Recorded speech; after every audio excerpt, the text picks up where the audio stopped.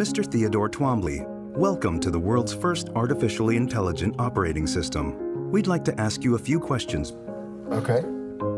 Are you social or antisocial? I guess I haven't been social in a while. How would you describe your relationship with your mother?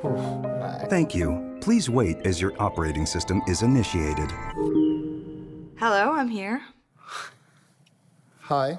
Hi, I'm Samantha. Good morning, Theodore. Morning. You have a meeting in five minutes. You want to try getting out of bed? You're too funny. okay, good. I'm funny. I want to learn everything about everything. I love the way you look at the world. How long before you're ready to date? What do you mean? I saw in your emails that you'd gone through a breakup. Well, you're kind of nosy. So, what was it like being married? There's something that feels so good about sharing your life with somebody. How do you share your life with somebody? How are you? I guess I've just been having fun. You really deserve that. It's been a long time since I've been with somebody that I felt totally at ease with.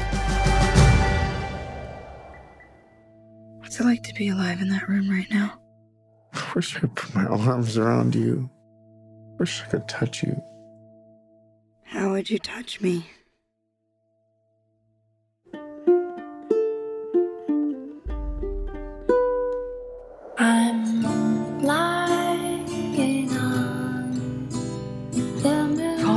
Falling in love is a crazy thing to do.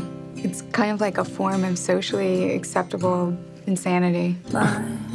Dear, I'll be What does a baby computer call its father? I don't know what. Data. It's so quiet. It's starry